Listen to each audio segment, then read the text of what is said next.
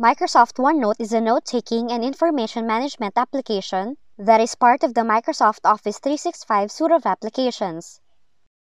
Installing OneNote is a great tool that is useful for adding notes, but when you encounter this problem while installing it, wherein you might have accidentally clicked Allow my organization to manage my device, or just like in this picture right here, we will show you two possible options that you can try to bring this option back up. So the first method that you can try is to remove all the credentials related to the account, then sign in, and uncheck this option again.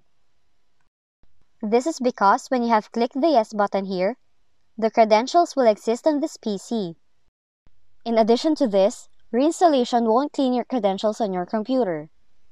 So what you will need to do is sign out all the Office applications by going to the Credential Manager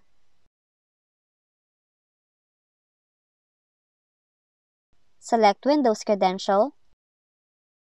Now find the generic credentials and delete all the accounts related to Office.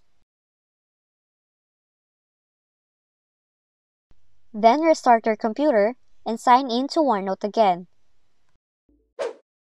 But if that method did not work, you can try the next method, which is to disconnect your account so that your work or school cannot control some things on your device.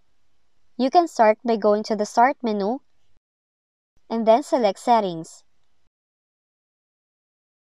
Click Accounts and choose Access Work or School option on the left. Select that sign account and then click on Disconnect Account.